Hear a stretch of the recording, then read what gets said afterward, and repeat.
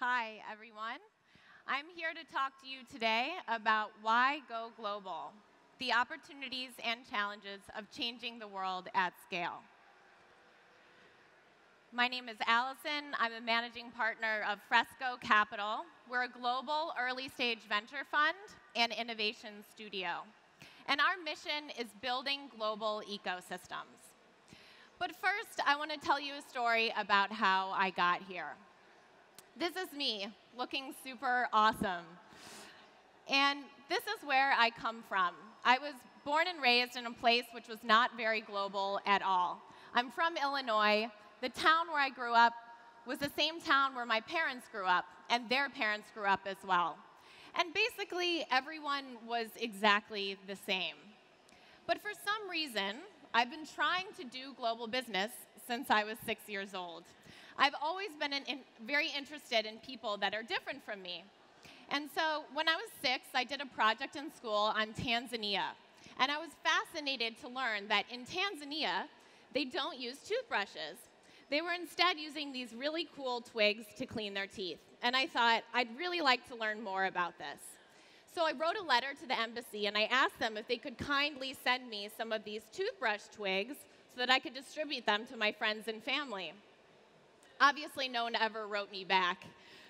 Then I kept trying, and when I went to summer camp and I was 10, I met a girl who was here from Tokyo, who was there from Tokyo.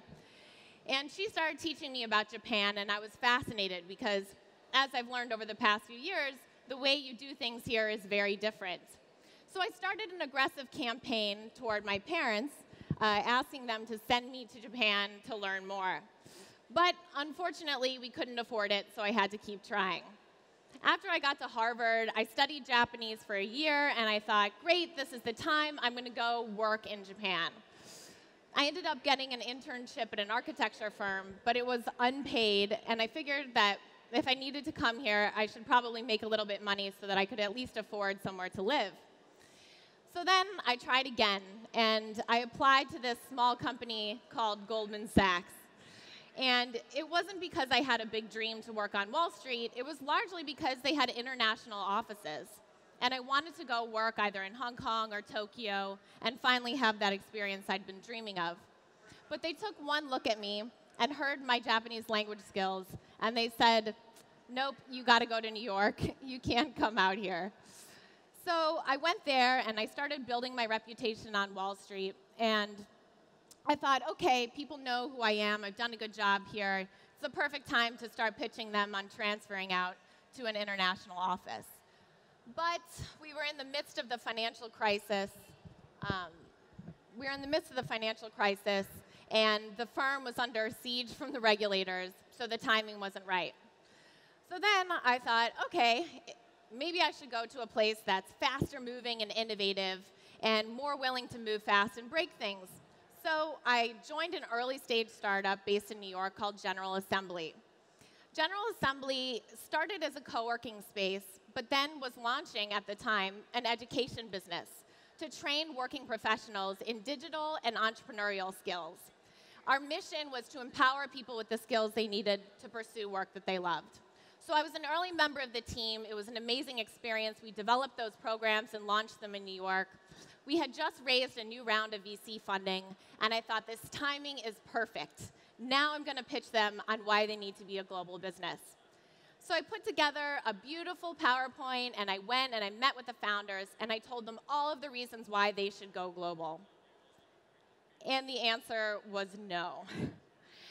So we sat there and we had a conversation about even though it sounded really great, there were tons of reasons not to build a global business. It's actually insane. The first reason is that nobody knows you. Doesn't matter how famous or beloved you are in your home market, when you show up in a new place, none of that matters. I got a call from one of our founders based in Silicon Valley the other day because a Japanese corporate had reached out about meeting with him about a potential investment or acquisition. And he said, Allison, I'm really busy building our startup. I have no idea who these guys are. Is it worth meeting with them? And I look at the email, and it's actually one of the most famous, well known companies here in Japan. And the CEO is somewhat of a celebrity. And here, but that mean that meant absolutely nothing to our founder in Silicon Valley. So I had to explain to him just how important this meeting could be. The second reason is what you did before won't work now. When you launch in a new place, it's guaranteed that things are going to be different. And localization is required for your product, for your team, your business model. And there's a million other reasons why it's totally crazy to build a global business. And I've heard them over and over um, over the years. But as I was sitting there talking to our founders, I kept thinking at the time, I kept thinking of this quote from Steve Jobs, which is that the people that are crazy enough to think they can change the world are the ones that do. So I decided to do something crazy, and I told them I was going to do it anyway. So I bought a one way plane ticket to Hong Kong and decided to move out there to launch these education programs. At the last minute, they realized I was both crazy and serious at the same time, and they gave me the go ahead. And that's what I did. It was an amazing time. We launched these education programs. In our first year, we empowered 2,500 people in Hong Kong with the digital and entrepreneurial skills they needed to pursue work that they loved. And over that time, I was able to build a team, and I could see that the opportunity was so much greater than I had ever realized before having landed on the ground there. But the challenges were great too. And one of the biggest challenges was convincing our founders to give me the kind of resources and flexibility that we would need in order to truly pursue this opportunity. So I went and sought the advice of some people that I trusted. They were my friends at the time, and now they're my partners at Fresco Capital. But they also had experience building global businesses. My partner, Steven, was born and raised in New York, and he is the technical co founder of five different VC backed startups. His last one was a developer tools company called Telerik, and he had run around all over the world setting up their international offices and connecting with local developer ecosystems there before that, he had done something similar for Microsoft. And Titus, my other partner, was born in Poland, grew up in Canada, and had spent time living all over the world scaling financial businesses, once for HSBC and once for himself. And we realized that there was a gap in the market. Most early stage investors are very local. They think only in terms of their local ecosystem. And that's very important, especially at the early stage. But we felt we had something unique to offer, that we could leverage our experience, our network, and our, um, our capital to help companies go global. So we set up our first fund, we raised some money from some other globally minded investors, and we started making investments. We made those investments in companies no matter where they were based, and then we got our hands dirty helping them go global. That meant getting them their first sales customers in Asia, or helping them negotiate with manufacturers in Shenzhen, or helping them move their engineering team from San Francisco to Europe in order to save on runway. And then we started making some more investments and learning in the process of what our companies needed and what their challenges were. And through that, we started to build a really amazing team of other people that were just the right amount of crazy, just crazy enough to also build global businesses. And we started to notice some patterns.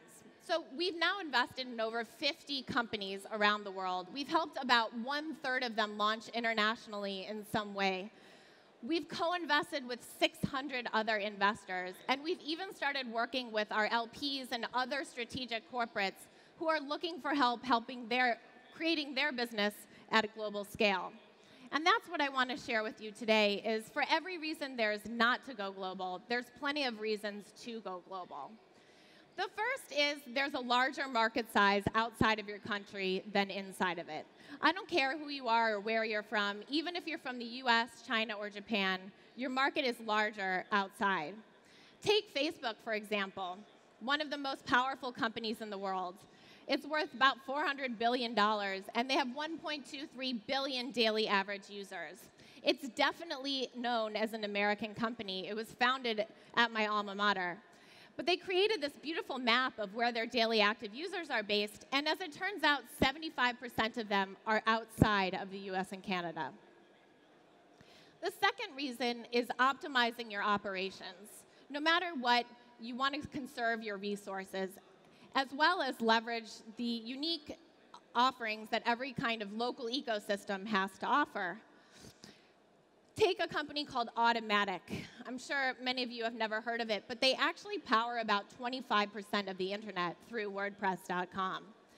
They have 175 million monthly unique visitors, and they've been able to do that with only 540 employees, which is drastically less than other companies that experience the same amount of traffic. And they've been able to do that because they have a 100% distributed workforce. We have another portfolio company called Spire, which is building a truly global business. They've launched about 25 small satellites into space, and they're collecting the best, cheapest data about what's happening on the Earth right now. And they've only been able to do that because they've built a team that's truly global and they've leveraged the talent that's available in e each unique ecosystem. So they built a software engineering team in San Francisco, a weather science team in Colorado, a space team in the UK, and business development teams out here in Japan as well as uh, Singapore. The third reason is you can have a first mover advantage. Whatever you're trying to do, if it's a big opportunity, I guarantee there are other people trying to do the same thing. And showing up first globally can make a big difference. Take Netflix, for example. They made a dramatic move in January of 2016 by launching in 130 new markets overnight. Thank God one of them was Japan because I'm a big Netflix uh, fan. Um, but the number one way they were able to justify this to their investors was by saying it was the only way they could get a head start on their competition. And their investors are happy because now they're getting 73% of their new users from international sources. And the stock is trading at 340 times earnings per share, which is one of the best performing stocks on the NASDAQ stock exchange. The fourth reason is access to capital. The most successful and powerful companies are staying private for longer, and they've been able to do that because they brought in large, later stage investors from international sources. It's estimated that 26% of US unicorns have at least one investor from China. And that's ignoring the huge pools of capital that are now becoming available in the Middle East as well as here in Japan.